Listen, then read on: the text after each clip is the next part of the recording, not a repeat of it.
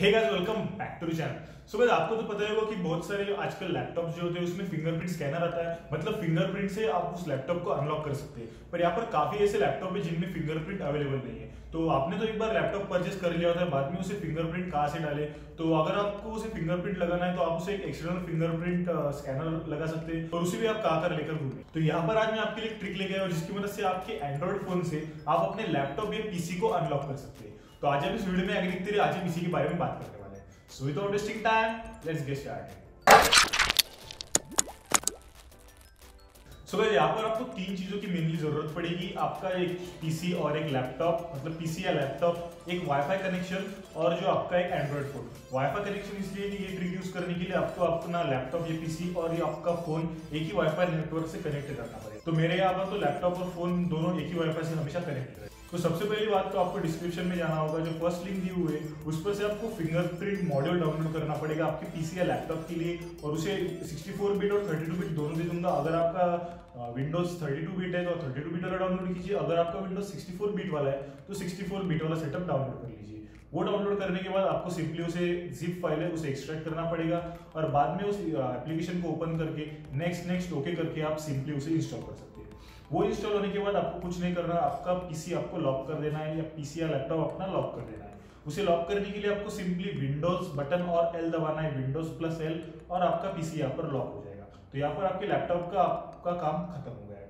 बाद में आपको जाना पड़ेगा अपने एंड्रॉइड फ़ोन पे और इसमें आपको प्ले स्टोर पे जाके रिमोट फिंगरप्रिंट अनलॉक करके एप्लीकेशन को डाउनलोड करना इसका भी लिंक मैंने डिस्क्रिप्शन में दे रखा है, वहाँ से भी आप डाउनलोड कर सकते हैं, या प्ले स्टोर में भी आप इसे सर्च कर सकते हैं। और इसे डाउनलोड करने के बाद आपको इस एप्लीकेशन को ओपन करना है, बाद में यहाँ पर जाना है स्लाइड आइकॉन पे, और यहाँ पे स्कैन वाले बटन पे क्लिक करना है। और यहाँ पे प्लस बटन पे क्लिक करने के बाद बाय स्कैनिंग करके आपको यहाँ पर करना है। तो अगर आपका लैपटॉप और आपका फ़ोन एक ही वाईफाई नेटवर्क से कनेक्टेड है तो यहाँ पर वो शो कर देगा। तो यहाँ पर ये मेरे लैपटॉप का नाम है, इसे मैं क्लिक कर दूँगा, और बाद में सेव करके अभी ये जो मेरा लैपटॉप है, मेरे फ़ोन में सेव हो गए बाद में यहाँ पर मुझे जाना पड़ेगा माई अकाउंट्स पे, और माई अकाउंट्स करने के बाद यहाँ पर मेरा लैपटॉप यहाँ पर शो कर रहा है। सिंपली मुझे ऐड अकाउंट पे क्लिक करना होगा, और ओके प्रेस करना है।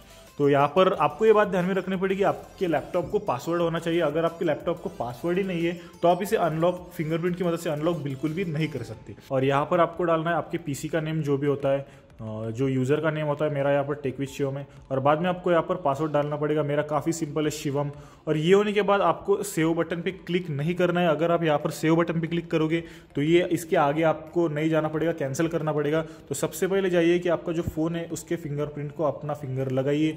बाद में यहाँ पर आता है कि ऑथेंटिकेशन डन और बाद में ही आपको सेव पे क्लिक करना है। अगर आप पहले सेव पे क्लिक करते हो और बाद में फिंगरप्रिंट लगाते हो तो ये बिल्कुल भी काम नहीं करेगा। आपको कैंसिल करना पड़ेगा, वापस से डालना पड़ेगा। और वापस ही करना पड़ेगा।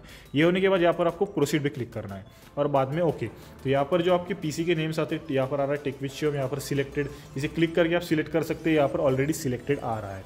बाद में यहाँ पर जाना पड़ेगा और बाद में अनलॉक पे क्लिक करना होगा और जैसे ही आप, आपका फिंगरप्रिंट टच करते आपका लैपटॉप या पीसी अनलॉक हो जाएगा। तो जल्दी से जल्दी हमारे लैपटॉप की तरफ़ और बाद में बता दो कि ये कैसे अनलॉक होता है। तो यहाँ पर अभी आप देख सकते हैं कि मेरा लैपटॉप है, वो लॉक्ड है, मैं एंटर दबाऊँगा। तो यहाँ पर मुझे पासवर्ड पूछता है तो मैं सिंपली इसे ऐसे टच करता हूँ और ये मेरा लैपटॉप अनलॉक हो जाता है। बाद में वापस एक बार करके दिखाता हूँ विंडोज़ प्लस एल से आपका लैपटॉप लॉक हो जाता है। बाद में सिंपली यहाँ पर अगर आप टच करें लैपटॉप अनलॉक कितना कूल वे यार आपके लैपटॉप को या पीसी को अनलॉक करने के लिए। तो यार देखा ना आपने कितना कूल तरीका है आपके लैपटॉप या पीसी को अनलॉक करने के लिए आपके फ़ोन से। सो so, आपको ये वीडियो यार बाकी कोई भी वीडियो रिलेटेड कुछ भी क्वेरी है तो मुझे आप इंस्टाग्राम पे डीएम कर सकते हैं। यहाँ पर मैं स्क्रीन पे मेरा हैंडल दे दूँगा इंस्टाग्राम का और नीचे डिस्क्रिप्शन में मेरे सारे सोशल मीडिया हैंडल्स अवेलेबल है। सो so, अगर आपको वीडियो चला तो वीडियो को लाइक ज़रूर कीजिए और नीचे के बटन क्लिक करके चैनल को सब्सक्राइब करना मत भूलिएगा। Till then stay connected keep supporting this is your friend Shivam signing out